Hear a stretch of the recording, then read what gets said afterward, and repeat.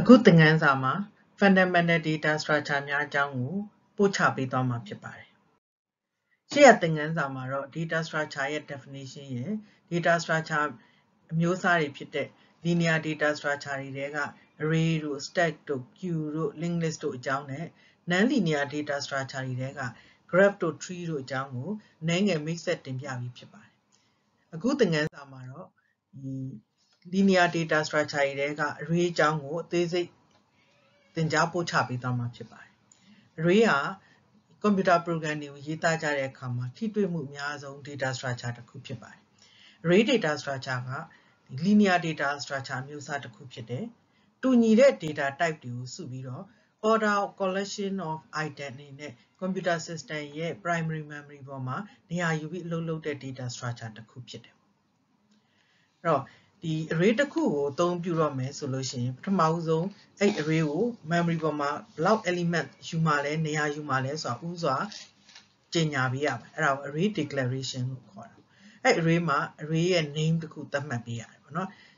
အဲ့ array name တစ်ခုသတ်မှတ်ရတယ်လို့ array element ဘယ်နှခုလဲဆိုတာကိုလည်းကြိုတင်ကြေညာပေးရပါတယ်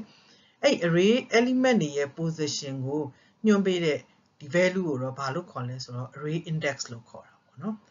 အဲ့တော့တချို့သော programming language တွေက array index ကို0ကနေစသလိုတချို့သော programming language တွေကတော့ array index ကို1ကနေစပါတယ်အဲ့တော့ array element တစ်ခုရဲ့ကိုစားပြုတဲ့အခါမှာ array ရဲ့နာမည်နဲ့အဲ့ဒီ array index position ဟာအဲ့ဒီ array element ဘယ်မှာရှိလဲဆိုတာကိုသူကဖော်ပြပေးတဲ့နေရာဖြစ်ပါတယ်အဲ့တော့ array အကြောင်းကိုအသေးစိတ်ရှင်းပြဖို့အတွက် programming language တွေရဲ့ဥပမာတွေနဲ့ရှင်းပြသွားမှာဖြစ်ပါတယ်ဟို array ကို C နဲ့ C double plus programming မှာဆိုလို့ရှိရင်ဘယ်လိုအသုံးပြုတယ်လဲဆိုတာကိုလေ့လာကြည့်အောင်နော်အဲ့တော့ array ကိုသုံးမယ်ဆိုလို့ရှိရင်တော့ဘယ် language မဆိုအဲ့ array ကိုကြိုပြီးတော့ declare လုပ်ပေးရတယ်ကျင်ညာပေးရပါတယ်အဲ့လိုကျင်ညာတဲ့အခါမှာအဲ့ array ဒီဘယ် data type array လဲနော် integer လား string လားပေါ့နော် floating point number လားဆိုတဲ့ data type ကို variable type ကိုအရင်ကျင်ညာရပါတယ်အဲ့ဒီနောက်မှာတော့အဲ့ array ရဲ့ name ပေါ့ array name တစ်ခုပေါ့နော်အမိမိနှစ်သက်ရာ variable array name တစ်ခုကိုပေးလို့ရပါတယ်အဲ့ဒါရဲ့နောက်မှာတော့ square bracket နဲ့အဲ့ array မှာ element ဘယ်နှခုလဲဆိုတာကိုကျင်ညာပေးရပါတယ်ဒီမှာဆိုလို့ရှိရင် string car ပေါ့နော် car ဆိုတာ array name ဖြစ်တယ်ဒီ square bracket ထဲမှာ4ဆိုတာ element ၄ခုပါတယ်ပေါ့နော်အဲ့လိုကျင်ညာပေးရအဲ့ဒါကြိုတင်ပြီးနေရာယူပြီးကျင်ညာပေးရအဲ့တော့ C programming language မှာပဲသူက array element ကိုတစ်ခါတည်းပဲ ဟို define လုပ်ပေးလို့လည်းရတယ်ဥပမာအဲကား element ၄ခုထဲမှာ value တွေကဘာတွေပါမလဲပေါ့နော်ဒါကိုလည်းကြိုတင်ပြီးတော့ဒီကျင်ညာပေးလို့ရတယ်လို့ဥပမာ my number ဆိုတဲ့ array မှာ element 3ခုပါတယ် integer array တစ်ခုဖြစ်တယ်10 20 30စသဖြင့် value ကိုပါတစ်ခါတည်းထည့်ပြီးကျင်ညာပေးလို့ရပါတယ်အဲ့တော့ဒီ C programming C and C++ programming မှာဆို array index ဒီဘယ်ကစပါလဲဆို0ကစ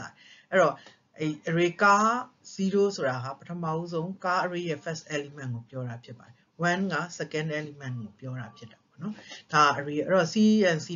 programming မှာဆိုရင် array ကိုအသုံးပြုမယ်ဆို primary memory ကိုကြိုပြီးကျင်ညာတဲ့အတွက်ကြောင့်သူက static allocation လို့သူ့ကိုသတ်မှတ်ပါတယ် memory ပေါ်မှာ compiler မှာ combine လုပ်ချိန်မှာအဲ့ဒီ array ရဲ့ element တွေကို memory ပေါ်မှာနေရာယူပါတယ်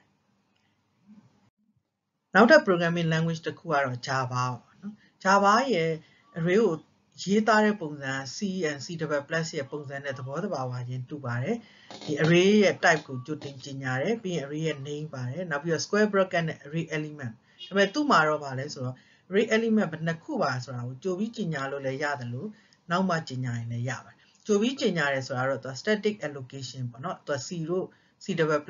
array ပုံစံမျိုးနဲ့တူတယ်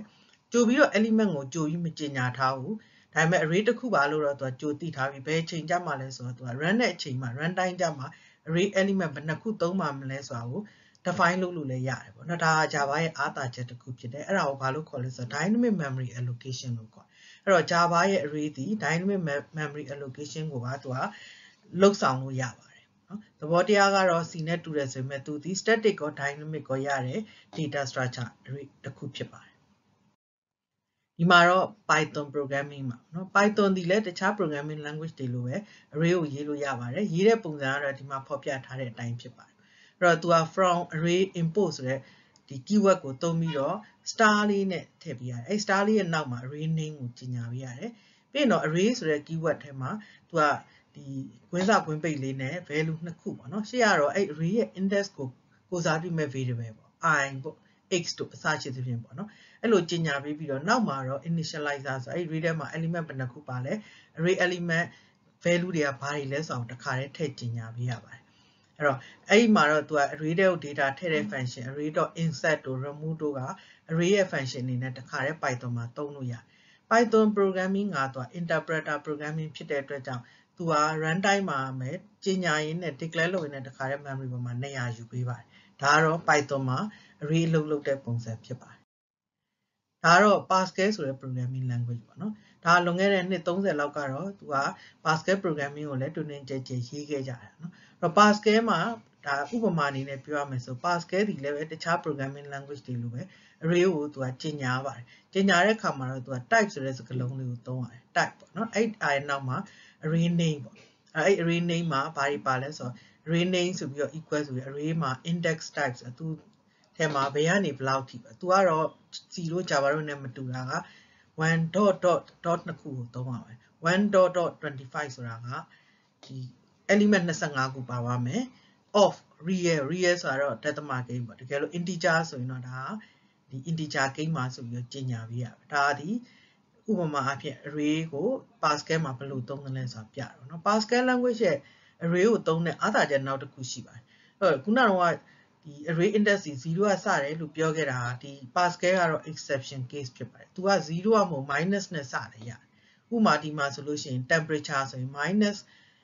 10ကနေ50 of real ဆိုသူ့ရဲ့ index ဒီ minus ကို value ကြိုက်တဲ့ value ကနေစလို့ရတယ်ရပါတယ်ပေါ့နော်ဒါသူ့ရဲ့ array ဒီ Pascal array ရဲ့အားသာချက်တစ်ခုပေါ့နော်ဒီလိုပုံစံနဲ့လည်းသုံးပါတယ်ဒါကတော့ Pascal ရဲ့ example ဖြစ်ပါတယ်ဒီမှာကတော့ array တွေနဲ့ပတ်သက်ပြီးတော့ array ဘယ်နှမျိုးရှိလဲပေါ့နော်အဲ့တော့ array ဒီ one dimensional array ဆိုရင်တော့သူက array value တစ်ခု element ဟို array ပုံ one dimensional ပုံစံမျိုးနဲ့အလုပ်လုပ်တဲ့ array တစ်ခုပါအဲ့တော့တစ်ခါလေးမှာ matrix တွေကိုကိုစားပြုဖို့ဆိုရင်တော့ two dimensional array တွေကိုဖန်တီးတည်ဆောက်ပေးရပါတယ်အဲ matrix ပုံစံနဲ့အလုပ်လုပ်တာကိုတော့ two dimensional array လို့ခေါ်ပါတယ်အဲ့တော့တော်တော်များများ language တွေက one dimensional array ရော two dimensional array ကိုအသုံးပြုပြီးတော့ data structure တစ်ခုဖန်တီးလုပ်လို့တည်ဆောက်လို့ရပါတယ်တချို့သော programming language တွေကတော့ multi dimensional array တွေရပါတယ် two dimension ထဲမကတဲ့ multi dimensional array တွေကိုအသုံးပြုတည်ဆောက်လို့ရပါတယ်ဒါ array အကြောင်းဖြစ်ပါတယ်အဲ့တော့လက်တွေ့မှာ array ကိုဘယ်လိုပုံစံမျိုးနဲ့မြင်တွေ့နိုင်လဲလို့ပြောရင်တော့ဒီ slide လေးမှာပြထားတဲ့နမူနာ array ကိုမျက်စိထဲမှာမြင်အောင်ကြည့်လို့ရပါတယ်ဥပမာကြက်ဥကတ်တွေဆိုလဲဒါ two dimensional array တစ်ခုပါ chocolate ဘူးတစ်ခုဆိုလဲဒါဒီ two dimensional array တစ်ခုရဲ့ပုံစံမှာဒါလေးတွေကတော့အလုံးမြင်သာမဲ့ဥပမာလေးအနေနဲ့ array ရဲ့ဟို real life example လေးအနေနဲ့ဖော်ပြထားတာဖြစ်ပါတယ်